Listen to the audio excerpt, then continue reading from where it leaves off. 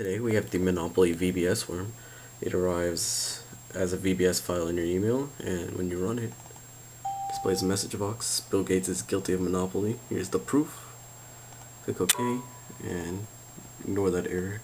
Shows you this rather humorous image of Bill Gates superimposed on a Monopoly board.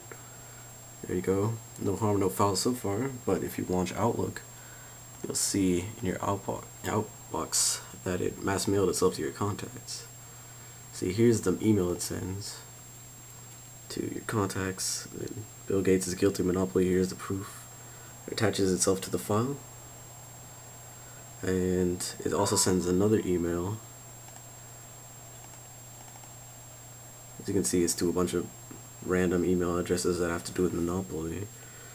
It's coming from the username on the computer that Outlook is using.